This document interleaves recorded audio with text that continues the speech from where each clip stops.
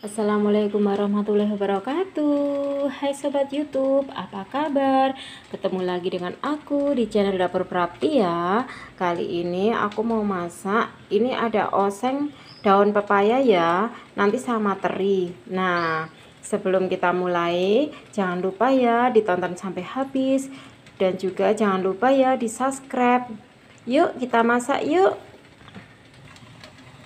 Nah, ini pertama-tama kita akan goreng teri dulu ya, teman-teman. Ini kita tunggu sampai panas ya minyaknya.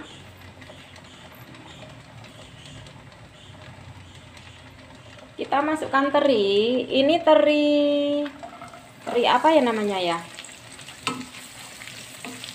Teri buat itu loh sambal kucing itu ya, teman-teman. Nah, ini ini segini 4000 teman-teman. Ini murah ya. Tapi bikin nanti masakan kita jadi enak ya teman-teman.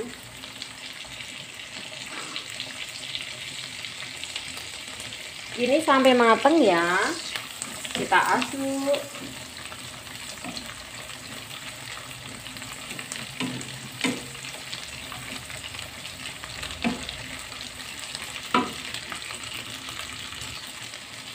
next lanjut.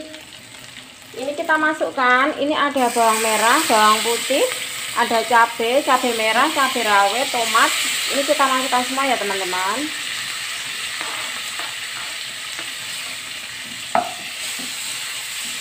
Kita aduk.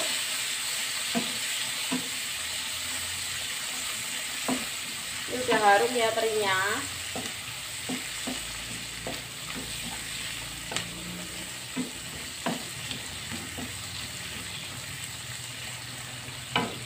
dulu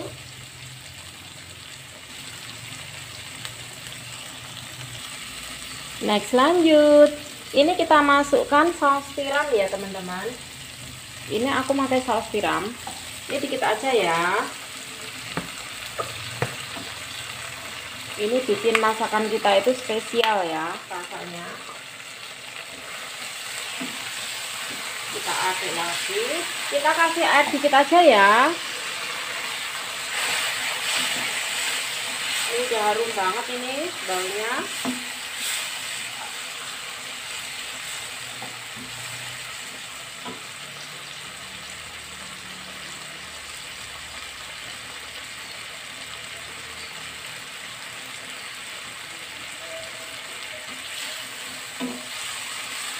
Terus kita masukkan ini daun pepayanya ya. Ini aku tadi belinya dua plastik ya teman-teman ini. Ini sama bonggol-bonggolnya nggak apa-apa. Ini mudah banget ya teman-teman. Uh, ini enak banget ini. Ini kita masukkan lagi ya airnya untuk biar tanah ya nanti.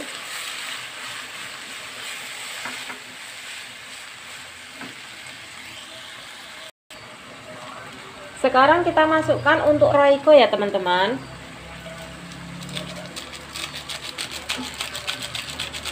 pakai roiko terus ini kita kasih gula. Ini menurut selera ya teman-teman.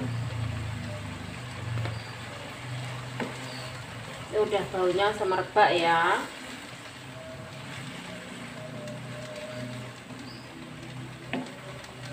Ini daun pepayanya ini aku belinya udah direbus ya teman-teman. Tapi ini mudah semua ini. Sampai lembek banget tadi. Cuma pucuk-pucuknya ya teman-teman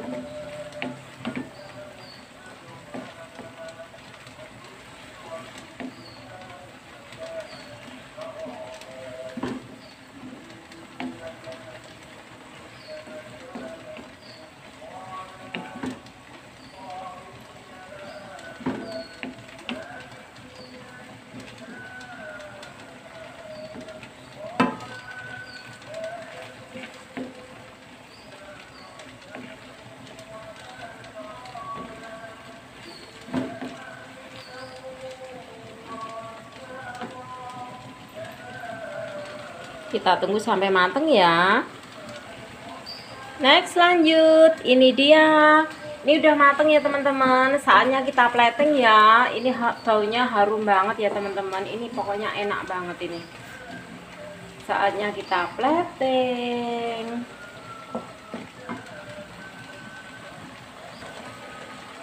ini kita matikan dulu ya teman-teman. Ini kita plating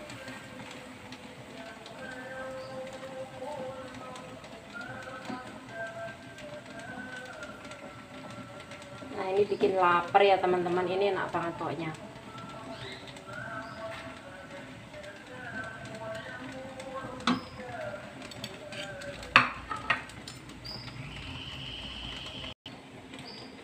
Ini dia hasilnya ya teman-teman. Ini sayur daun pepaya sama teri ya teman-teman.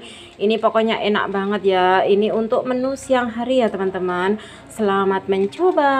Bye bye